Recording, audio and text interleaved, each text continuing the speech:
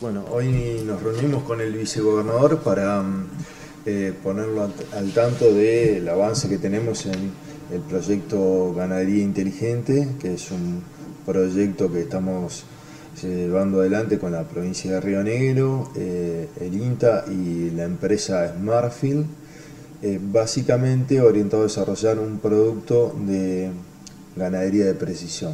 Este proyecto lo que nos va a permitir es generar eh, una plataforma online que actúe como soporte de decisiones para los ganaderos en principio, en la cual van a poder acceder a sus campos, ver este, la producción de forraje que tienen, estimada a partir de imágenes satelitales, imágenes provistas por drones, estaciones meteorológicas remotas, y este sistema de alguna manera los va a alertar eh, acerca de cuánto tiempo pueden mantener su hacienda en ese cuadro, cuándo la deberían cambiar, eh, los va a permitir anticiparse a eventos sequía, eh, desarrollar todo un sistema y un protocolo de gestión que básicamente está orientado a preservar y mejorar el pastizal natural a la vez que a aumentar la productividad de los rodeos.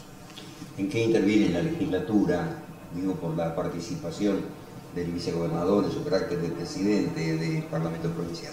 Bueno, este es un proyecto que, como te decía, involucra a la provincia de Río Negro. Somos este, socios en, el desarrollo de este producto la empresa, el INTA y la provincia de Río Negro.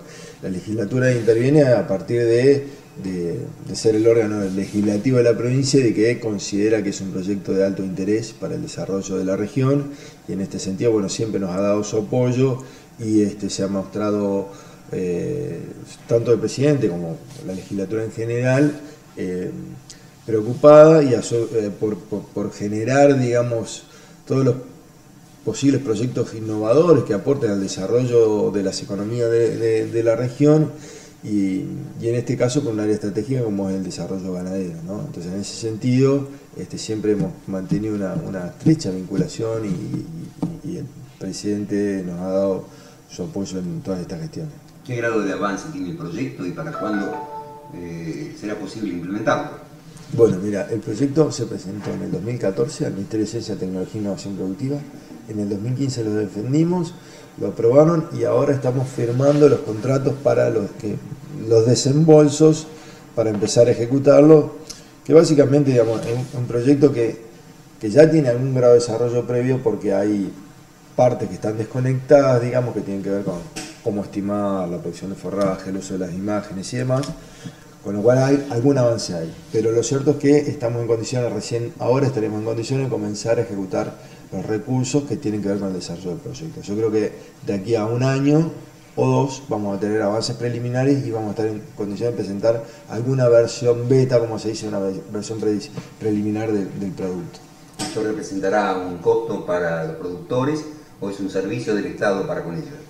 No, esto en principio es así, esta operatoria lo que pretende es generar y erradicar empresas de base tecnológica fuera de la región central del país, fuera de Buenos Aires, Córdoba, Santa Fe, Entre Ríos. Eh, entonces le financia, financia esta articulación público-privada.